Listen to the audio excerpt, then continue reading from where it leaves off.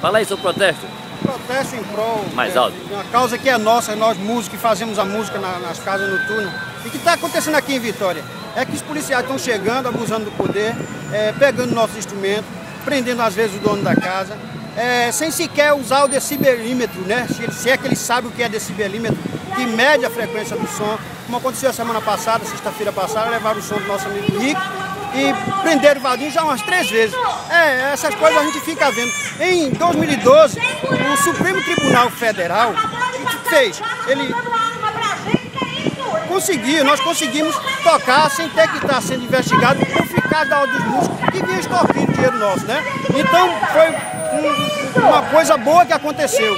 Mas agora vem essa, essa lei aí que eu sei, sabemos, respeitamos a lei do silêncio. Não é abusando, nós estávamos usando o, o decibelímetro que mede a frequência do som. Mas eles chegaram, levaram, entendeu? Eles chegam assim por uma. Por alguém que denunciou, às vezes ninguém sabe quem, e denuncia O protesto é dos músicos. dos músicos das casas noturnas que querem que sobrevivem da, da, da música ao vivo, né, das pessoas que estão ali sopilando um pouco. Infelizmente está acontecendo isso em Vitória. Enquanto isso, eles deveriam estar o quê?